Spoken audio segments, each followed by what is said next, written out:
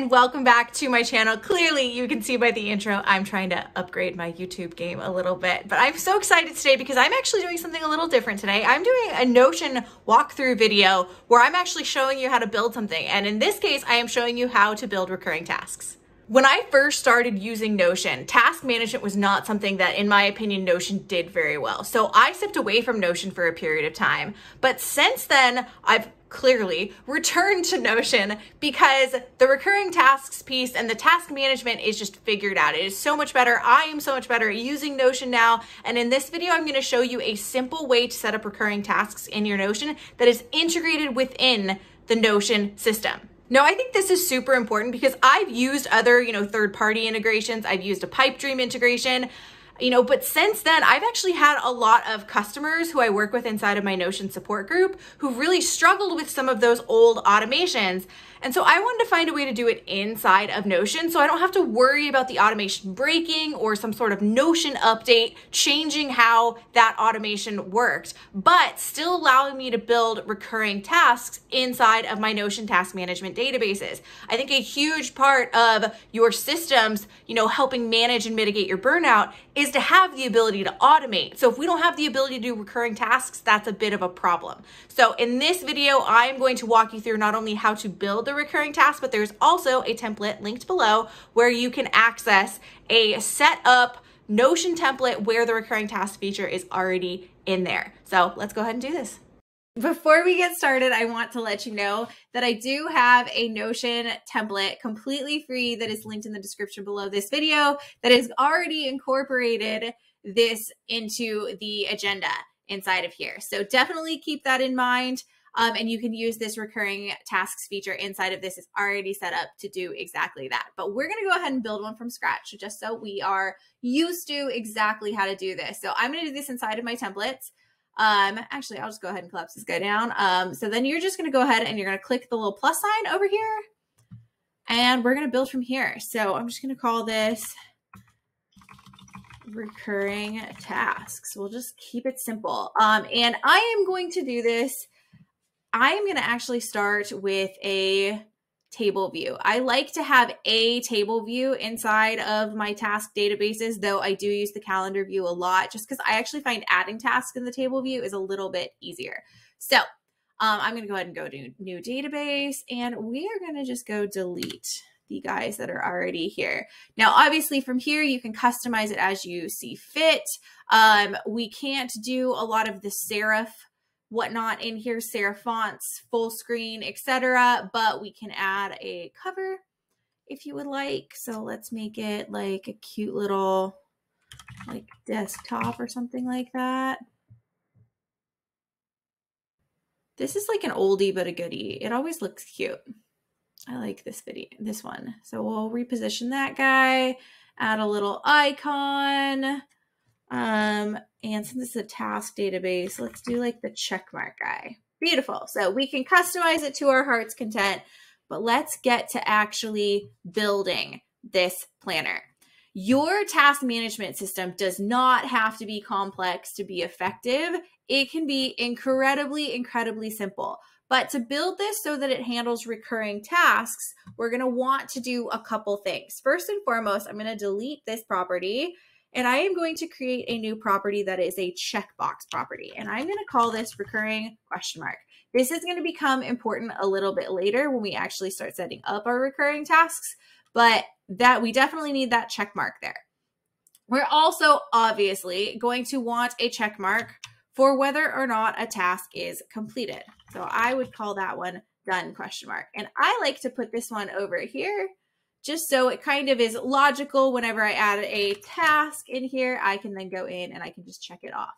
Don't worry, I'll move this recurring box out of the way so we don't accidentally check it eventually.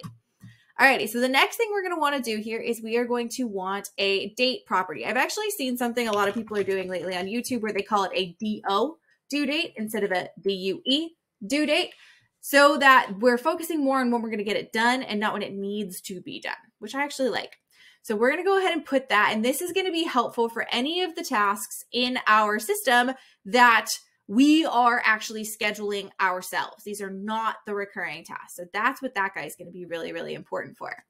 The other thing we are going to want is actually going to be a created time. This is going to become important for our um, for our recurring tasks in our database. And again, you just go plus and then scroll down to the bottom and do created time. Not created by, we want created time. So that's going to become important later as well. These created time and recurring ones are going to be really, really important for actually driving our, um, our to-do list. Alrighty, so then the last thing we want inside of here, again, this is the final piece here, really, really keeping this nice and clean and nice and simple, is we are going to create a formula.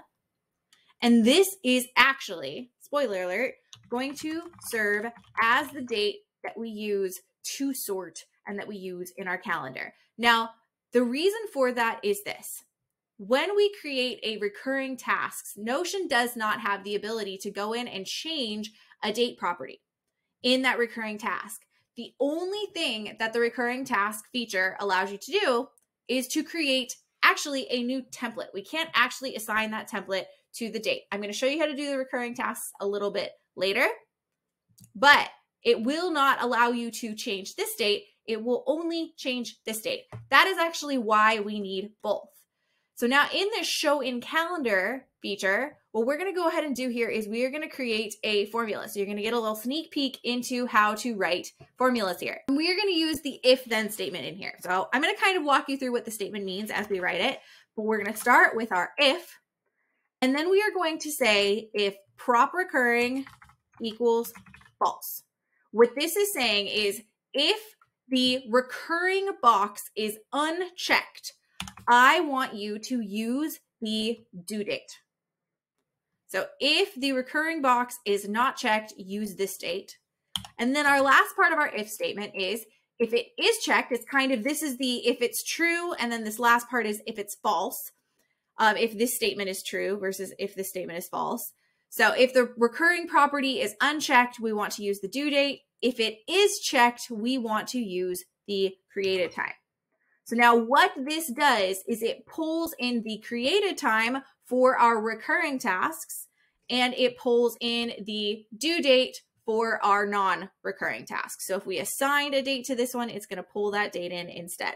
This is really, really, really handy because what it allows us to do, especially as we start to create more tasks, it allows us to have a consolidated date property that we can organize and sort by.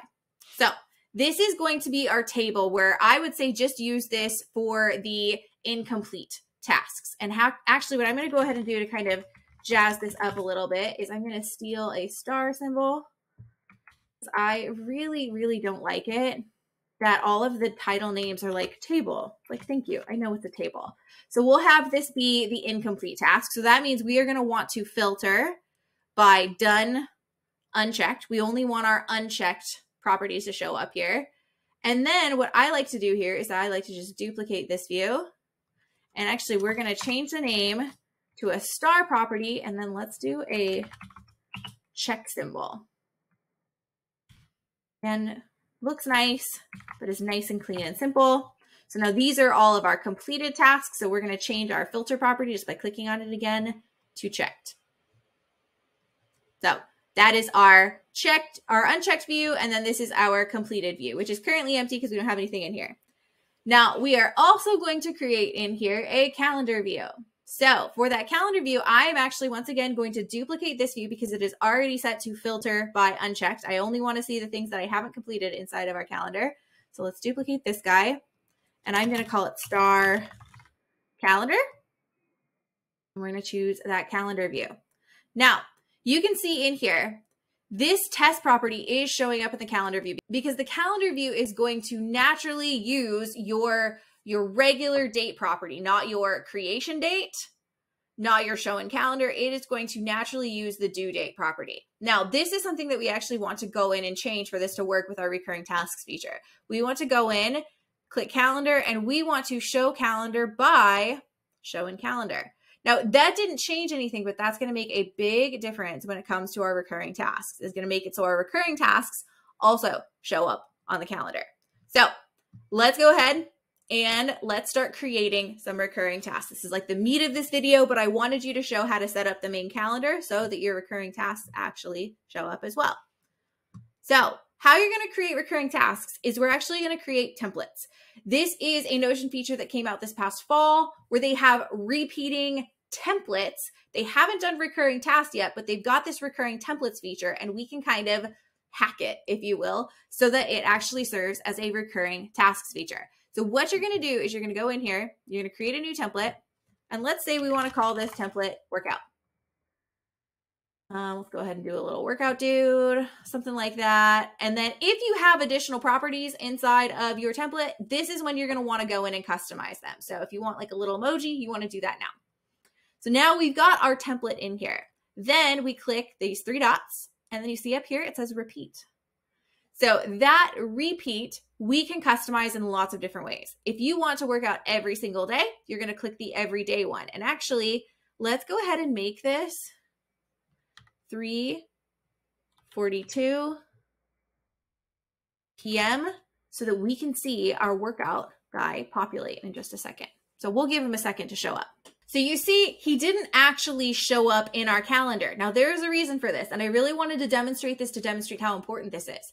In our template, we didn't do something really, really important. You might already know what I'm getting at here, but if we go into this guy, we didn't check recurring. When we check this, again, it tells our equation down here to pull the created time as the due date time. So that is really, really important. And once we check that, ta-da, our workout shows up there. Now, let's say we want our workout, we want to work out um, on Monday, Wednesday, and Friday, or Monday, Tuesday, Thursday, and Saturday, whatever it might be. Let's say we want to do that. So I'm going to go ahead and I'm going to duplicate this template. But now, this time around, since we've learned, I'm going to check recurring. And I actually do recommend once you get this set up, pull that recurring all the way up to the top because it reminds you that you really, really do need to check that for your templates. So we're going to make that recurring now. And now what we're going to do is we're going to come back here and I want to show you an alternative way to schedule. If you have a task that you want to be repeated weekly, but you want it to be repeated on certain days of the week for the following week, this is how you're going to do it. You're going to select repeat weekly out of the list, select the days when you want it to repeat, and then once again, select the start time. Let's go ahead and do 344 now so that we can see this guy pop up. So let's give it a second. Oopsies. Oops, I actually accidentally realized I picked 344 for yesterday. So let's try this baby again. And there we go. It shows up again for that. It isn't going to show up for the subsequent days that I checked until the day that it's actually scheduled to show up. That is one of the little caveats of this. Um, but that is kind of how this setup works. So if I checked for Saturday, it's not going to show up until Saturday and so on and so forth. So one thing that is important to keep in mind here is I would definitely recommend, oops, I clicked the wrong button. I would definitely recommend when you set your creation time, I would definitely make it in the morning. It actually defaults to 12 a.m. That would be my recommendation for when you want to create your event here. So that is how the recurring task feature works in a nutshell. You can create recurring tasks by actually, let me just go back in here. You can create recurring tasks where they happen, like I already mentioned, daily. You can create them so that they happen certain days every single week. You can create them so they happen monthly. You can create them so that they happen. Uh, oh, and actually, one thing I want to say in this monthly, if you have uh, recurring tasks that happen every two months, you just change this guy to two. If they happen every three months, you change this to three. So that would be for like quarterly actions. If they happen biannually, you'll change this to six. So that's how I have to remind myself to like set uh, biannual health appointments, so like doctor's appointments. And then obviously yearly. And then if you have things that are like every two years or every three years, you just change that number as well. The only thing I can think of I might use for that is to like remind myself to get a new driver's license or re- renew my TSA pre-check or something like that.